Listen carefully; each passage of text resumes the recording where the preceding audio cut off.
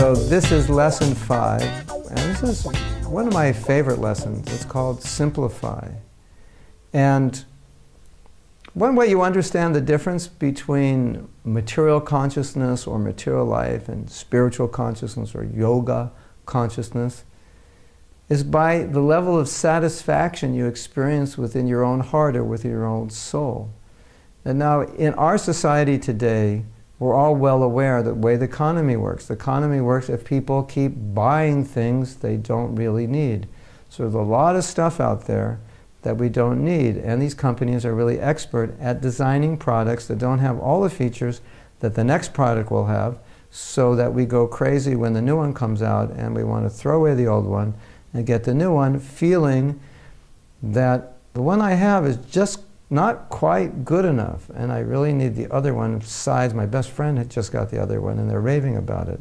And so we're impressed, impregnated, controlled, brainwashed by consumerism. Then we made it feel like, you know, you're not happy because you don't have enough. And we've been conditioned to believe if you have more, it's better, right? More is better, bigger is better. Yeah, you know, like my house is only this big. If I get a house that's this big, that house must be better. And this car is this big. And if I get this big, it's better. And my bank balance is only this big. If it goes this big, it's better. Everything bigger is better. Now, I'm from America, so we have a phenomenon in America which is quite interesting, especially in light of the fact that I travel ar around the world and I've been to many very poor countries where people live extremely simple lives. And I've noticed something quite interesting, and I'll tell you. Would you like to hear? I think you would. In America, we have what are called little housing developments where there are many, many, many, many housing units right together, but they don't house people. They house stuff.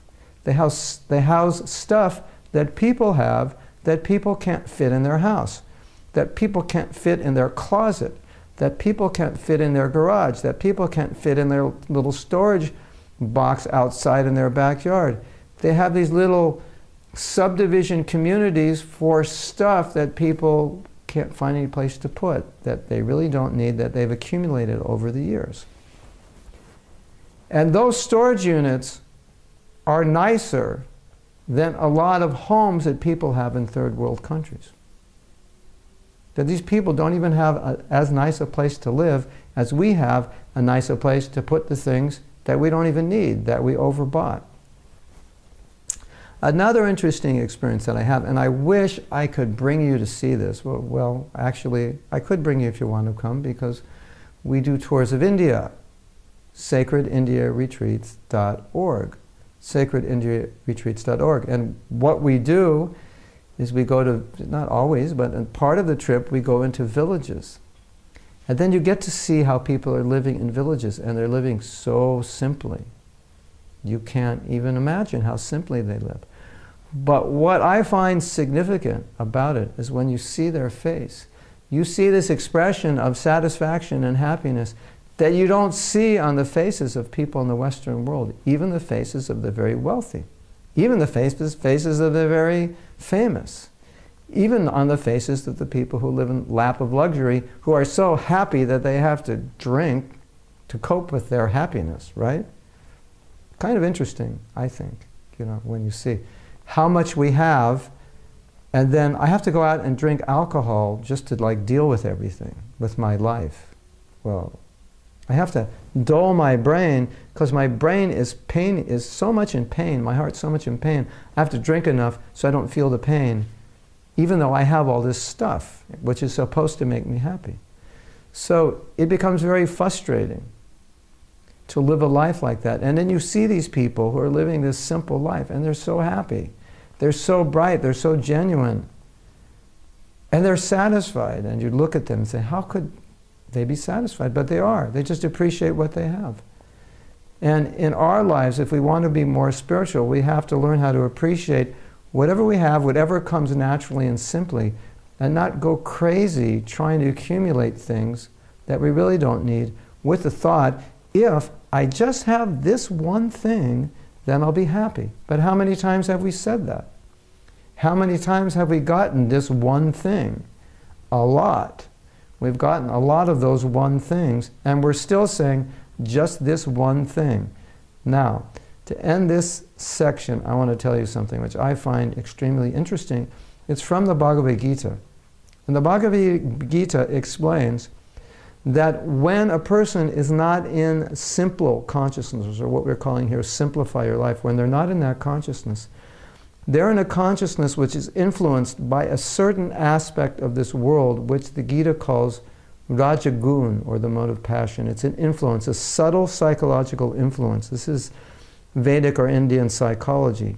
And it's a force which, which a force within nature which causes us, and we all have experience of this, to think if I just have this, I'll be happy. And we get it, and then we think, if I just have this a little more, I'll be happy. And we get it, and we think, if I just have it a little more, I'll be happy. And what the Gita says, it's an endless cycle. It's an endless cycle. It'll never end. The more will never satisfy. It'll just keep going and going and going. And so people who practice yoga understand this principle. And when the mind starts saying, if you just have this, you'll be happy, the yogi understands, no, this is the effect of Rajagun, and it doesn't matter how many of these I have, I won't be happy. And then at that point, you actually just calm down. You can live very peacefully. So, what I think you all should do tomorrow, do something really cool. Go into your favorite store and walk through and walk out and don't buy anything. And go, I don't need any of this. I'm a yogi. Poo poo it all. Live, live. You may not want to do that, but it'd be fun to do that, don't you think?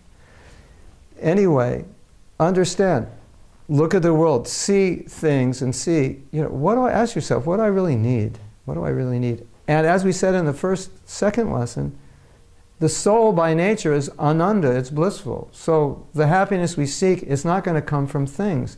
Things don't fulfill the need within us. There's a spiritual need. It's like, it's like take a mirror, take something to eat, hold up the mirror and put it in the mirror in your mouth. That doesn't work. It works if you want to go on a diet, I guess. But if you actually want to satisfy your hunger, it's not going to work. So much of what we do in our life is like we're trying to satisfy a need that can't be satisfied the way we're trying to satisfy it because it's a spiritual need. So we're feeding the mirror, not feeding the person. We're feeding, trying to feed the physical, but it's not satisfying the spiritual. So, simplify. You'll be happy. Live with less. You'll have more money in the bank. You'll spend less. You can give more charity. You can do more service to others. Don't always think about what I want, what I need. Don't be so self centered. It's a miserable life. Simplify. Think of others. As they say, keep it simple, stupid. In India, we call the spiritualist the sadhu. So we're going to change that and say, keep it simple, sadhu or keep it simple, yogi, but that doesn't sound like kiss. So we'll say, keep it simple, sadhu. Until next time, keep it simple, sadhu.